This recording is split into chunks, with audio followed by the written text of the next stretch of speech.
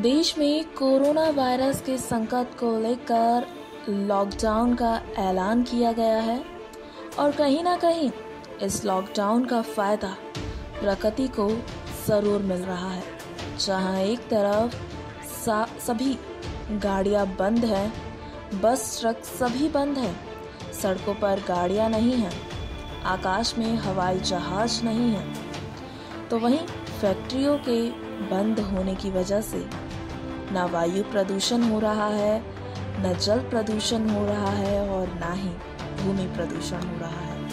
ऐसे में इन दिनों आप सबने भी ये ज़रूर नोटिस किया होगा कि आकाश में बैठा वो चाँद कितना ज़्यादा खूबसूरत नज़र आता है। आसमान में चाँद का दीदार करने का मज़ा इन दिनों कुछ और ही है। चाँद के भी अनेक रूप है, जहाँ एक तरफ़ बचपन में वो मामा सा लगता है तो वहीं जवानी में अपना प्यारा सा लगता है। जी हाँ और अब चाँद को देखते हुए अक्षरा सिंह ने भी दो लाइनें कही हैं। क्या कहती हैं अक्षरा सिंह? वो हम आपको सुनाते हैं।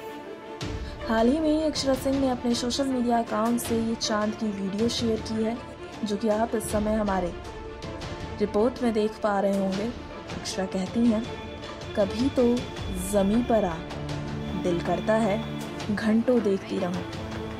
और इन दिनों सिर्फ़ अक्षरा सिंह का ही नहीं, बल्कि आम नागरिक का भी चाँद को देखने का घंटों दिल करता है। अगर आप भी इन दिनों रात के समय चाँद को देखते हैं तो कमेंट बॉक्स में अपनी राय ज़रूर लिखें। नेक्स्ट नाइन भोजपुरिया से आर्थिक report. Next nine news Bhojpuriya के सब्सक्राइब करें, और लेटेस्ट अपडेट खातिर बेल के आइकन वाला बटन दबाएँ।